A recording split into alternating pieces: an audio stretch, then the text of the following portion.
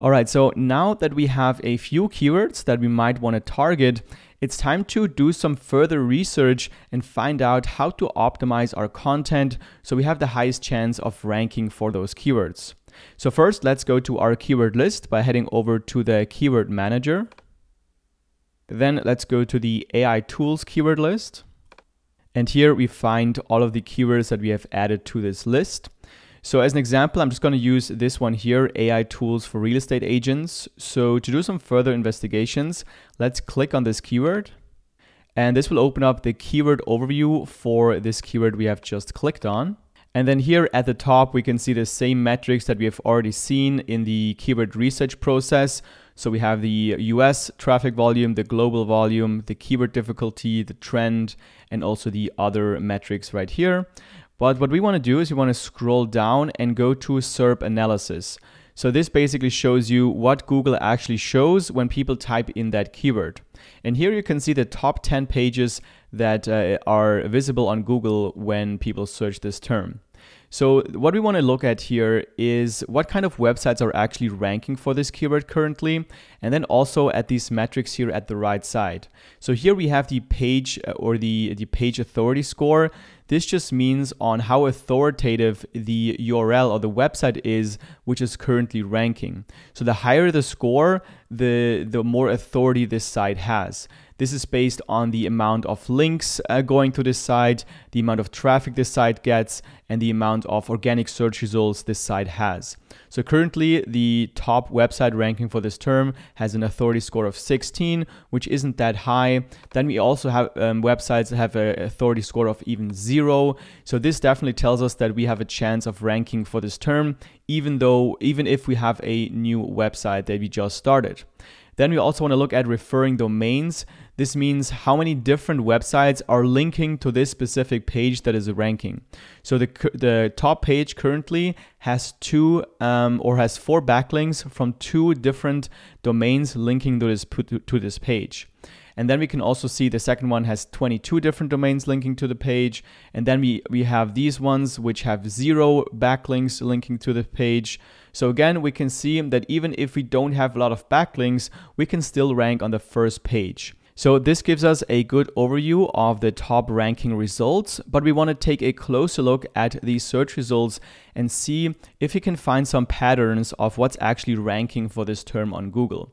So let's open up a new incognito browser window and then type in the target keyword. And then here, let's see if we can find some patterns. So at the top, we have 11 must-have real estate AI tools every realtor needs. Then we have AI tools or AI for real estate agents, nine tools to keep up with the blah, blah, blah. Then we have nine powerful AI tools. So the first thing that I notice here is that usually we have a list. So we have 11 tools, we have nine tools, we have nine tools, we have eight, 53, eight. So what seems to work here for this keyword is just giving a list of the best AI tools. That's already very valuable information because that's, this tells me that usually people click on these uh, list posts. Then next, we also want to click on each of these pages that are at the top and just see how they are structured, how they structure their content. So this looks like a just a simple blog post where they just list all of the different tools with some images and some further information. Then on the second page, it's kind of the same. We have just a list of all the different tools. So again, this gives me a good idea about how to structure my content to have a high chance of, of ranking for this term as well. And now I'm going to show you another SEMrush tool that will help you optimizing your content for your target keyword. So let's go back to our tools and then under on page and tech SEO, let's click on SEO content template. Then here, let's enter our target keyword and click on create content template. And then here, SEMrush gives you a few more recommendations when it comes to creating the content for this keyword based on the top results that are currently ranking. So I would look at the key recommendations here. So first we have the semantically related words. These are just keywords that you might want to include in your content. Then we have backlinks. We're going to talk more about backlinks later in the video, but these are just similar websites that you might want to reach out to and get backlinks from pointing to your content. Then we have readability. This gives you an average readability score for the top 10 search results. This just means on how hard it is to read the text. On average, we have a score of 50 here. And when we go to the uh, table of what this means, we can see 50 to 60 means it's fairly difficult to read or even college level difficult to read. So this just gives you an idea on how on what is currently working for the top ranking results and usually you want to keep about in the same range. And later I'm going to also show you how to check your content on what your readability score is so you can adjust accordingly. And then lastly, we have the text length. This is actually one of the most important things you want to consider when creating content for the keyword is that you hit about this amount of words. You don't want to go too much above or too much below because this is what's currently working the best. So you want to make sure to have a, a let's say blog post that has around 1400 words. This would be optimal. Great. So now we have some guidelines when it comes to creating content for our target keywords.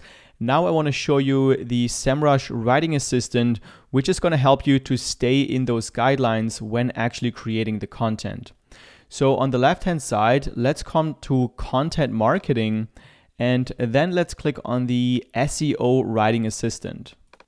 And then we already have the keyword here because we have created an SEO template for this keyword. So let's click on quick check. And then here we can just paste in our content to see what recommendations we get from SEMrush uh, for us to optimize our content for our target keyword. So just as an example, I'm going to go to one of these results that came up for my keyword and I'm just going to paste the content that they have to see if we get some recommendations here for their page. So let's just go back here and then paste that in. And then we can see here on the right side that they're uh, doing a pretty good job. So they have a 7.8 out of 10. The SEO is pretty good, readability is pretty good, tone of voice is good, but the originality could definitely be improved. Now, what I would do here is then start and just click on each of these categories. So let's start with readability and then just go through the list down here. So here, first of all, we have the readability of 43.9 and it should be a 50 or around 50. So it's actually pretty good. It's pretty close to 50 then this should definitely be improved. So we want to have uh, a bit more content here because the target would be uh, 1,431 words and we only have 1,078. So I would definitely make this content a bit longer to hit this word count right here. Then we can scroll down, title issues, we have no issues here. Then um, we should split long paragraphs, write hard to re rewrite hard to read sentences and so on. So again, just uh, go through the list and make sure you fix these issues. The same thing with SEO, just click on SEO and then uh, look at all of these things that, uh, that SEMrush recommends and fix these issues. Now I'm going to show you how to set up position tracking for your target keywords so you can always stay updated on what your current ranking is in the Google search results. So to do that, we're going to come over here under keyword research and go to position tracking. Then here, just type in your website's URL. So I'm just going to use the uh, website of SEMrush and then click on Setup Tracking. Then under location, I'm going to set it to the United States and click on Continue to Keywords. And then here we can now enter the keywords that we want to track, or we can also import them from a file. So just as an example, I'm going to enter a few keywords and then click on add keywords to campaign. Then they will be shown down here. And now if you leave this option ticked, then you will get a weekly email updating you about your current ranking for these keywords. So let's click on start tracking. And now the ranking for the keywords that we have added will be tracked for our website and we can see all kinds of data here. So under overview, you can see the average visibility for all of our keywords, the average position uh, for the keywords. So um, what we want to look at is basically just at the position and also if something has changed. So if we lose a position, then we probably want to look at why that is. Maybe we need to send some more links to that page or we need to optimize the content in a certain way. So that's just something you need to keep track of because um, that's eventually where your traffic is coming from. Now I want to show you how to find the keywords that your website is already ranking for, but you're not at the first position on Google yet, which means you could potentially get a lot more traffic if you were to optimize your pages and rank higher or even rank on the first position of Google. Because let's take a quick look at this study that backlinko.com has done which shows us how much of the traffic the first, second, and third until the 10th position is getting compared to the other positions. So the first position on Google usually gets 27.6% of the traffic, which is almost double what the second position gets. And it's 10 times as much as the ninth position on Google. So let's say we are currently sitting at position 5 for our target keyword, but if you were to optimize our page and maybe also send some more backlinks to this page, then we could potentially end up in position one and get over four times the traffic that we have gotten before. So improving your pages that are currently sitting at position two to about 15 for a specific keyword that is relevant to you is one of the best ways how to spend your time and resources in order for you to get more traffic to your website. So now I'm going to show you how to use SEMrush to find the keywords where you are currently sitting at position 2 to 15 and where it might be worth it to optimize the pages that are ranked at that position. So let's head back over to SEMrush and then let's go to organic research. Then here, type in your website. I'm going to use another one this time. I'm just going to use MailerLite, which is an email marketing platform. Let's click on search. From here, let's go to positions. And then we can see the keywords that currently are getting us the most traffic. Now we can still see the keywords where we are currently at position one. So we want to filter those out by going to positions and then we're going to do a custom range from position number two to position number 15. Let's click on apply. And this gives us a list of all of the keywords where we are currently at position 2 to 15.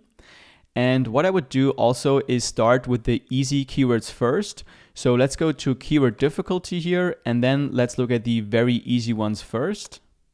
And here, for example, we can see for the keyword November newsletter, this gets about 390 searches per month, and we are currently at position three. We can also look at the page that is ranking for that keyword. This is how it looks like. So MailerLite actually has a blog post about the uh, 93 special events to inspire your November newsletter. So this is relevant to uh, this keyword. So it might be worth it to look at this page and see if we can optimize something or see if we can send some more backlinks so we can get from number three to number one and potentially get a lot more traffic. But now, how do we know what we need to optimize on our page to potentially boost our rankings? Here is where I would use the SEMrush on-page SEO checker. So let's open this up in a new tab. Then here we have to enter our domain. So in this case, this would be mailerlite.com. Then United States is fine. And then here we want to go to manually and then enter the page we are trying to optimize. So let's come back here. And let's say we want to increase our ranking for this keyword, travel landing page. Currently, we are sitting at position six and this is the page that we are ranking for this keyword. So let's copy the keyword and then go back to the on-page SEO checker, paste in the keyword here. And then we also want to paste the page we want to optimize. So that's this one. So let's copy that as well and then paste that in here. Then click on add page and collect ideas. Then once it's done loading, let's click on optimization ideas. And then we want to filter by the page we want to optimize. So we can either enter the keyword here or the URL. I'm going to just paste in the URL here. And then we can see here's the URL. This is our target keyword. And SEMrush gives us four ideas of what we could optimize. So let's click on four ideas. And then we get to the suggestions. So MailerLite actually does a pretty good job optimizing all their pages for SEO. So there aren't too many suggestions, but one thing that we could do uh, under content is focus more on creating a more informative content. So the competitors use long form content on their web pages, which are ranking higher. So this might be something to think about. Then uh, the content should be a bit more readable. And then when we scroll down here, we could add a few more related keywords like landing page template or social proof. And then we can also try and get some more backlinks from these sites here. You can also click on detailed analysis to see some more information about uh, how many times the competitors who are ranking higher are using specific keywords. So you can really get uh, into the details here for these suggestions but it's definitely going to give you a good guideline of what you can optimize in order for you to boost your rankings.